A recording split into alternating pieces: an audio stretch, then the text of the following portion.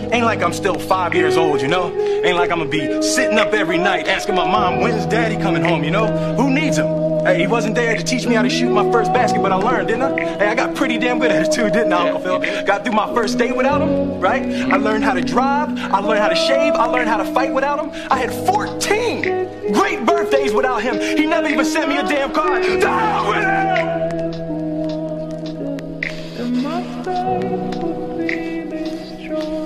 I ain't need him then and I don't need him now.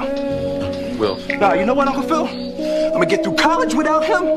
I'm gonna get a great job without him. I'm gonna marry me a beautiful honey, and I'm having a whole bunch of kids. I'm gonna be a better father than he ever was. And I sure as hell don't need him for that, because ain't a damn thing he could ever teach me about how to love my kids.